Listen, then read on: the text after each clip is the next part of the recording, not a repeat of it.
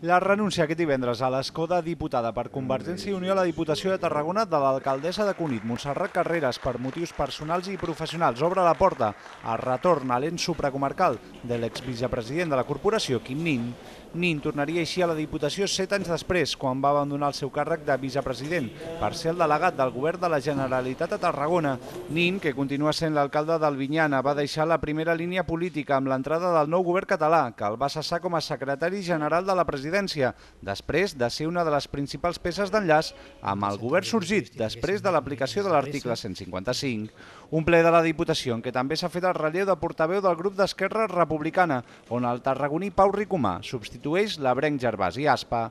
Ricomà s'ha estrenat en el càrrec denunciant juntament amb la CUP la no inclusió en l'ordre del dia d'una moció dels dos grups en què s'instava la Diputació a col·locar un llaç groc a la façana de l'edifici en solidaritat amb els presos i exiliats. Els dos grups han criticat la manera de procedir del president Josep Poblet.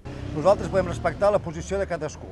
El que no podem admetre és que el president de la Diputació tregui un punt de l'ordre del dia i que impedeixi als diputats i diputades de la Diputació poder debatre un tema com és la solidaritat als nostres presos, preses, exiliats i exiliades polítiques. Un Josep Poblet que ha defensat la seva posició manifestant que el contingut de la moció ja havia estat debatut al ple i que aquest ja havia mostrat el seu posicionament. Si se'm diu que aquesta moció i el seu contingut ja havien sigut tractats i debatuts i presa possessió per part del plenari per àmplia majoria, vaig entendre que no havia de ser incorporada a l'ordre del dia. Per tant, és debat tingut i és escoltada la Junta de Portaveus que prengui aquesta determinació. La moció havia arribat al plenari a petició del col·lectiu Tercera Joventut per la República.